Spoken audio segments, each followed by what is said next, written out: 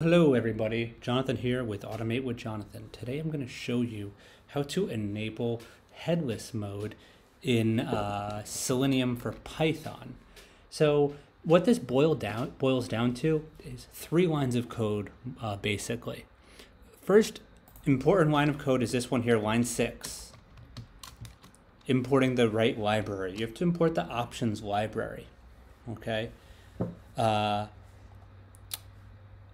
line two is you have to create a variable called Chrome options and and put the options function in there.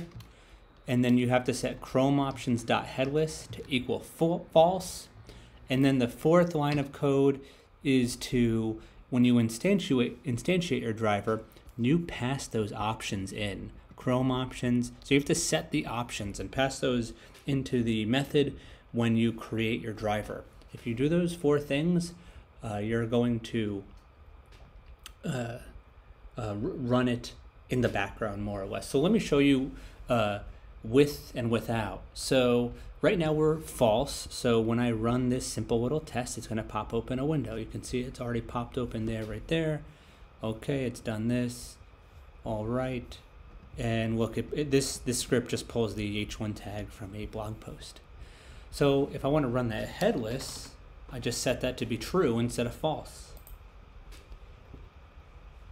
So as you can see, we're going to get our output without any new browser spawn happening.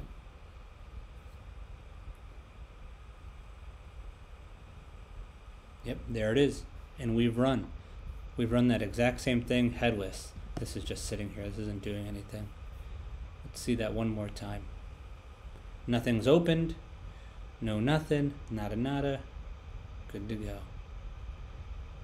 So there you have it, guys. That's how you run uh, your Selenium script in headless mode. Thank you so much for watching. If you got anything out of this, please hit the like button. Bye-bye.